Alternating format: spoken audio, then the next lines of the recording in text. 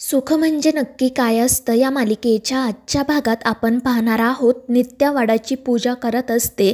Lovely तिच्या बाजूलाच उभा असतो आणि तितक्यात सावरी आणि विमल त्या ठिकाणी येतात.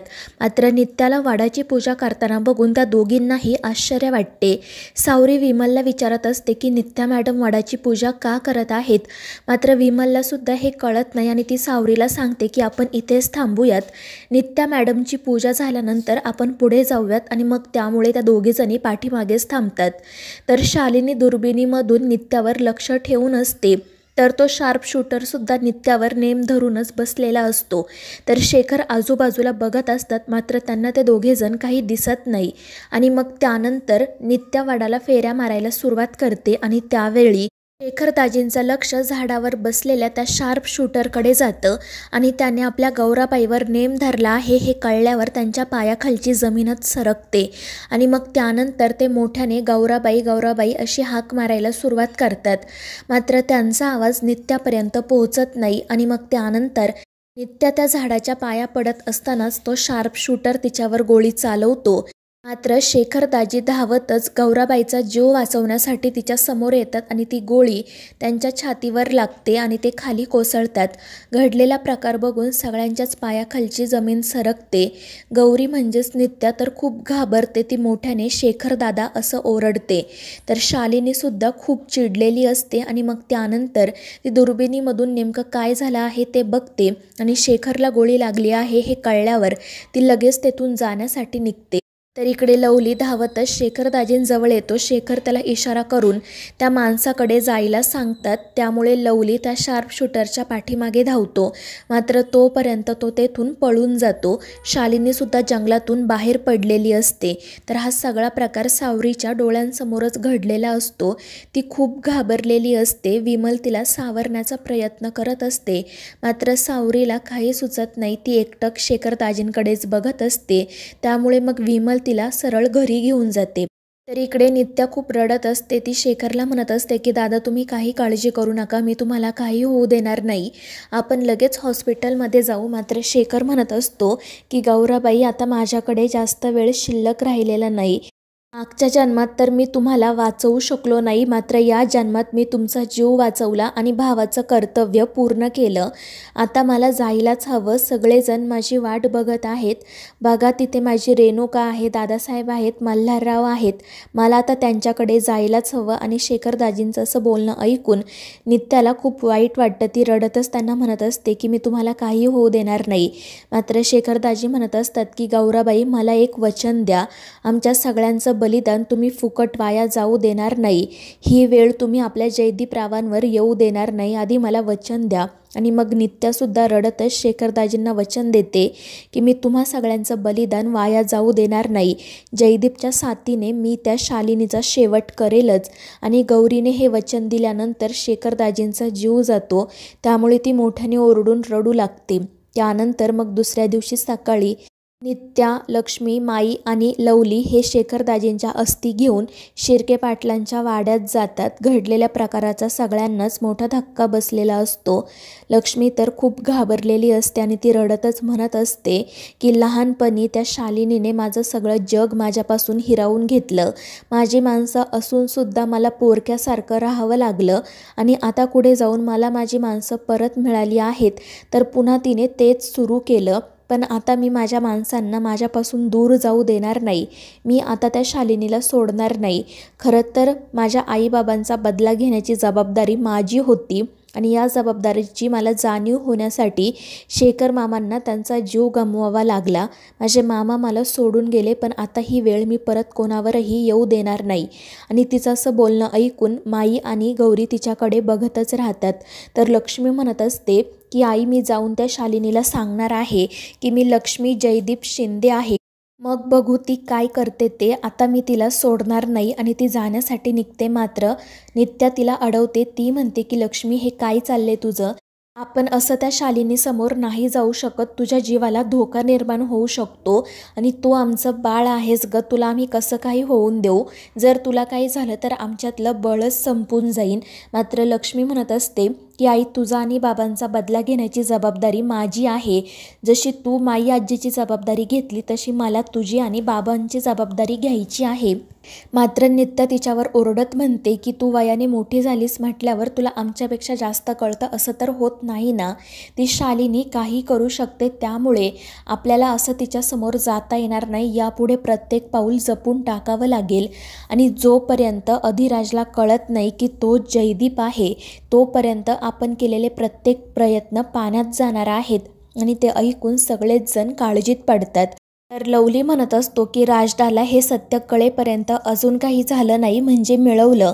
आणि त्यामुळे मग पुढे काय करायचं याचाच ते सगळेजण विचार करत असतात. तर दुसरीकडे सावरी झोपलेली असते मात्र तिला पुन्हा घडलेला प्रसंग आठवतो आणि ती मोठ्याने ओरडूनच जागी होते. ती खूप घाबरलेली असते घडलेल्या प्रकाराचा तिला मोठा धक्का बसलेला असतो आणि तितक्यात अधिराज त्या ठिकाणी येतो. तो सावरीला समजावतो की बाळा घाबरू नको मी आहे तुझ्याजवळ ती मोठमोठ्याने ओरडतच म्हणत असते की दादा मला घरी घेऊन चल. आणि त्यावर अधिराज तिला सांगतो की बघ तू घरातच आहे घाबरू नको. आम्ही आहोत तुझ्यासोबत. आता तू शांतपणे झोप. आणि मग तो तिला झोपवतो आणि बाहेर जातो. तर बाहेर तात्या विमल पाहुणी हे सगळेजण असतात. ते सगळेजण घडलेल्या प्रकाराचाच विचार करत असतात अधिराज त्या ठिकाणी आल्यावर. तात्या त्याला विचारतात झोपली का रे ती? आणि त्यावर अधिराज सांगतो हो पण खूप घाबरली आहे आणि त्यावर विमल म्हणते की घाबरणारच ना. जे काही घडलं ते आमच्या डोळ्यांसमोर घडलं. मीच एवढी घाबरले आहे तर ती तर बारीक पोर आहे तिचं काय झालं असेल? आणि त्यावर पाहुणी म्हणते की असं पहिल्यांदाच घडलं आहे ना भीती तर वाटणारच. आणि मग ते सगळेजण त्याच विषयावर बोलत असतात. तात्या म्हणत असतात की आपल्या गावाला कोणाची नजर लागली आहे काय माहीत? एवढं सुखाने राहणारं आपलं गाव त्याला अचानक काय झाले काय माहीत? आता तो गोळी चालवणारा आपल्या गावातला नसेल म्हणजे मिळवलं आणि ते ऐकून विमल म्हणते की आमच्यासमोर त्या नित्या मॅडमवर गोळी चालवली. पण तो माणूसमध्ये आला त्याने ती गोळी स्वतःवर झेलली आणि नित्या मॅडमचा जीव वाचवला. त्याचं नित्या मॅडमवर खरंच खूप प्रेम असेल आणि ते ऐकून इकडे अधिराज विचारात पडतो. तर तात्या म्हणत असतात पण असं कोण असेल ज्यांनी नित्या मॅडमला मारायचा प्रयत्न केला आणि कशासाठी? त्यावर पाहुणी म्हणते की तात्या त्या नित्याचा किती मोठा बिझनेस आहे माहिती आहे ना? आणि त्या बिझनेसमध्ये असे शत्रू असतातच त्यांच्याचपैकी कोणीतरी तिला मारायचा प्रयत्न केला असेल.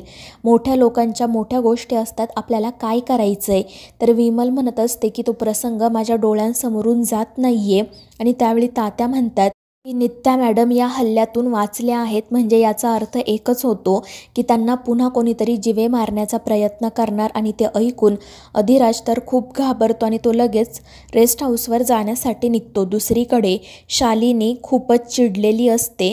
तर तिच्यासोबतचा माणूस तिला सांगत असतो की आपल्या शार्प शूटरचा निशाणा बरोबरच होता पण तो माणूसमध्ये आला. तर शालिनी म्हणत असते की माणूस नाही तर शेखर दाजी. पण बरं झालं माझा एक शत्रू काळाच्या पडद्याआड गेला जर तो जिवंत राहिला असता तर त्याच्यापासून सुद्धा मला भीतीच होती. आणि आपण याचं सेलिब्रेशन करायलाच हवं. ती गौरी तर काय तिला आज न उद्या मी मारून टाकेलच आणि त्यांचं ते बोलणं सुरू असतानाच. प्रपंचबाई त्या ठिकाणी येतात त्या शालिनीवर खूप चिडलेल्या असतात आणि तिला विचारत असतात की तुझी हिंमत कशी झाली? मला काही न विचारता गावात असं काहीतरी करायची. आणि तिचा आवाज ऐकून शालिनीसुद्धा चिडते. ती म्हणते की आधी तर माझ्याशी हळू आवाजात बोलायचं आणि शांतपणे मला काय झालं आहे ते सांगायचं. आणि विसरू नको की तुला जेलमधून मी बाहेर काढलं आहे. जर मी तुझ्या मदतीला धावून आले नसते तर अजूनही त्या जेलमध्येच तू पडली असती. त्यामुळे मी केलेले उपकार विसरून जायचे नाही. त्यावर सरपंच बाई म्हणतात की तुम्ही केलेले उपकार मी विसरले नाही. म्हणूनच अजूनपर्यंत तुम्ही या गावात आहात. नाहीतर मला न विचारता गावात जर कोणी काही केलं तर मी त्याला जगू देत नाही आणि ते ऐकून शालिनी हसू लागते. तर सरपंच बाई तिला विचारत असतात की मला न विचारता तू असं का वागलीस? जेव्हा मी तुला विचारलं होतं की त्या नित्याला मारू का तेव्हा तर तू मला नकार दिला. आणि मग आता तू तिच्यावर गोळी का चालवली? आणि मुळात हे सगळं करायचं कारण काय आहे? आणि त्यावेळी शालिनी म्हणते की ही झाकली मूठ सव्वा लाखाची. मी काय ती तुझ्यासमोर एवढ्या सहजासहजी सोडणार नाही. त्यामुळे तुला वाट बघावीच लागेल आणि त्यांचं बोलणं सुरू असतानाच अधिराज त्या ठिकाणी येतो. आणि सरपंचबाईंना बघून तर तो खूपच चिडतो. तर शालिनीला प्रश्न पडलेला असतो की आत्ता हा इथे कशासाठी आला आहे? तर दुसरीकडे गौरी माई आणि लक्ष्मी पुन्हा लवलीच्या घरी येतात. माईंना दुसरीकडे घेऊन जायचं असा ते सगळेजण विचार करत असतात आणि त्यामुळे लवलीला वाईट देखील वाटत असतं. तर माईसुद्धा म्हणत असतात की मी माझ्या या लेकराला सोडून दुसरीकडे जाणार नाही. पण गौरी त्यांना समजावते की आत्तापर्यंत त्या शालिनीला शेखर दाजींबद्दल समजलं असेल. म्हणजेच तिला माईंबद्दलसुद्धा नक्की समजलं असेल. त्यामुळे माईंच्या जीवालाही धोका निर्माण झाला आहे. त्यामुळे आपण त्यांना इथे असं नाही ठेवू शकत. आणि मग नित्याचं ते बोलणं लवलीलासुद्धा पटतं. लक्ष्मीसुद्धा माईला समजावत असते. मात्र माईंना नेमकं कुठे ठेवायचं हे काही त्यांना कळत नाही आणि त्यावेळी लवली म्हणतो की नित्या मॅडम तुम्ही अगदी खरं बोलताय. आता माई त्यांच्या एका लेखाकडून दुसऱ्या लेखाकडे जाणार त्यावर नित्य विचारते म्हणजे कुठे? तर लवली सांगतो की राजदाकडे. कारण राजदाच माईंना सुरक्षित ठेवू शकतो आणि ते ऐकून सगळेच जण खुश होतात. नित्या म्हणते की हे अगदी खरं आहे. आणि जर अधिराज माईंच्या सोबत राहिला तर कदाचित त्याला हे आठवेल की तो जयदीप आहे. आणि मग ते सगळेजण माईंना अधिराच्याच घरी ठेवायचं ठरवतात. दुसरीकडे विमल देवीच्या मूर्तीसमोर बसलेली असते तितक्यात तात्यासुद्धा त्या ठिकाणी येतात. ते तिला विचारतात की काय झालं? कशाचा विचार करतेस तू? आणि त्यावर विमल म्हणते की मी मगाशी तुम्हाला एक गोष्ट सांगितली नाही पण ज्या माणसाला गोळी लागली ना तो माणूस नित्या मॅडमला गौराबाई या नावाने हाक मारत होता. कोण असेल ही गौराबाई आणि ते ऐकून तात्यासुद्धा विचारात पडतात. ते म्हणतात की जाऊ दे नको विचार करू. काही गोष्टी काळावर सोडून द्यायच्या असतात. या मागचा गुड आपल्यासमोर एक ना एक दिवस येईलच. मात्र विमल म्हणत असते की काळच जर आपल्यावर चालून आला तर. आणि तुम्ही मागाशी म्हणालात ना की नित्या मॅडमवर पुन्हा हल्ला होऊ शकतो. म्हणजे त्यांच्यासोबत त्यांच्या आजूबाजूला जे लोक आहेत त्यांच्याही जीवाला धोका असू शकतो. आणि आपला राजसुद्धा नित्या मॅडमच्या सोबतच असतो. जर त्याला काही झालं तर आणि विमलचं बोलणं ऐकून तात्यासुद्धा घाबरतात. तर दुसरीकडे अधिराज सरळ सरपंचबाईंना विचारतो की आज आपल्या गावात जे काही घडलं त्यात तुमचा तर काही हात नव्हता ना? आणि त्यावर सरपंचबाई म्हणतात की उगाच काहीतरी बोलू नको माझा हात नव्हता. आणि त्या पटकन बोलून जातात की या शालिनीचा हात होता आणि ते ऐकून शालिनी तर रागातच तिच्याकडे बघू लागते. तर अधिराजलाही धक्का बसतो आणि मग त्यामुळे सरपंचबाई पटकन म्हणतात की यांचा हात होता म्हणजे यांची पोलिसांसोबत ओळख आहे ना? म्हणून मी यांना विनंती करायला आले की तुम्ही घडलेल्या प्रकाराचा पोलिसांना व्यवस्थित शोध घ्यायला सांगा नीट चौकशी करायला सांगा आणि त्यावर शालिनी म्हणते हो हो मी माझ्या परीने सगळे प्रयत्न करेल आणि मग त्यानंतर ती अधिराजला विचारते पण तू इथे बॅग घेऊन का आला आहे? तर अधिराज सांगतो की नित्या मॅडमच्या जीवाला धोका आहे आणि जोपर्यंत त्यांच्या गुन्हेगाराला पोलीस पकडत नाही तोपर्यंत मी त्यांच्या संरक्षणासाठी इथेच राहणार आणि ते ऐकून शालिनी घाबरते. तर मित्रांनो या मालिकेच्या पुढील भागांमध्ये आपण पाहणार आहोत. त्याला समजतं की काल तिच्यावर जो काही हल्ला झाला आणि ज्या हल्ल्यात शेखरदाजींचा जीव गेला त्यामागे शालिनीच होती आणि ती ही गोष्ट माईंना सांगते. त्यानंतर मग अधिराज आणि नित्या हल्ला नेमका कोणी केला हे शोधायचा प्रयत्न करत असतात. त्यामुळे शालिनी घाबरलेली असते कारण तिला माहीत असतं की जोपर्यंत अधिराज नित्यासोबत आहे तोपर्यंत ती तिला काही करू शकत नाही. तर मित्रांनो या मालिकेच्या पुढील भागांच्या अपडेट्ससाठी आपल्या चॅनेलला सबस्क्राईब करा.